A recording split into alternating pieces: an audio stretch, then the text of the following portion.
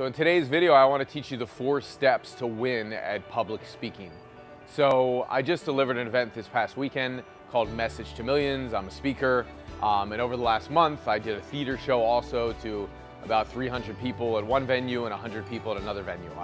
So I'm a speaker and I also have a one-man show on my life story where I'm an actor. And uh, the things I want to share with you on communication are really important from my experiences over the last month and over the last uh, you know 19 years or so of being up in front of audiences. So number one, uh, how do you win at public speaking is uh, you actually have to be yourself. And that's a tough thing for people. Uh, too often people will depend on their script or depend on their notes as a crutch or depend on their PowerPoint. And I actually think that PowerPoint and notes are the worst thing that you could possibly do as a speaker. I know this kind of goes against the grain of how most people think of it, but I think a great speaker knows their material. And so somebody who's an expert is somebody who gets up and speaks to audiences, like you're an expert in your topic. Now, if you're an expert in your topic, why would you need notes? And the only reason you would need notes is because you can't literally be with the audience and confront the audience. So one is do not rely on your notes, do not rely on your PowerPoint as your crutch. Can you have them? Yes. Can you uh, use a PowerPoint? Yes. But the moment you start putting your attention there and taking it off the audience, you're in a lot of trouble being a public speaker. So know your stuff. If you have to rehearse it and rehearse it and rehearse it and rehearse it to get comfortable with it, to where you feel comfortable communicating that message, do it. Do whatever you need to do to where you can show up and be yourself, okay? Really important. So being yourself means you are the one who is the vehicle of communication, not the notes, okay? The notes should be integrated into you. That's the first step. The second step of public speaking and how to win is to communicate with the audience and to interact with the audience. I rarely ever give a talk now where there's not interaction with the audience when I'm on the stage. I just feel like that interaction connects the audience more and makes the topic more real. So it's not uncommon for me to be in front of hundreds of people and go out into the audience and just ask a question to somebody and, uh, and interact with somebody or coach with somebody. So I think a good public speaker can demonstrate their topic um, and if you can give people an experience of it and connect with the audience in a way where um, you literally go out into the audience and you communicate with an individual and you demonstrate your mastery, um, that's another way to win big at public speaking. I think that the third way to win big at public speaking is to be able to sell.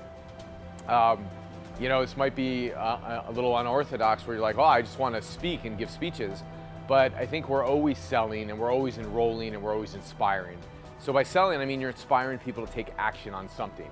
Uh, I think it's great if you have a product or something to offer that somebody could buy so they can gain mastery in the topic that you're talking on.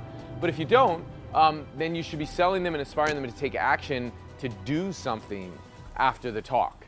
So to go like implement, to go take action, right? Because a great speaker gets people into action and all sales is, is inspiring people to take action on your product or your offer or inspiring them to take action on the thing you're teaching so they go out and do it.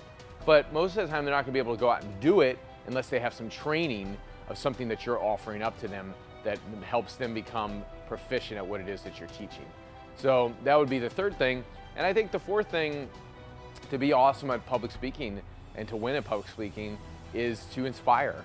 Uh, you know, a great speaker is like present and they can literally pull things in and elevate people's emotions. You know, my whole event this past weekend was teaching a lot of strategy, teaching a lot of tactics, but one of the things that I did was I stopped and I told stories. So telling stories is a part of inspiration.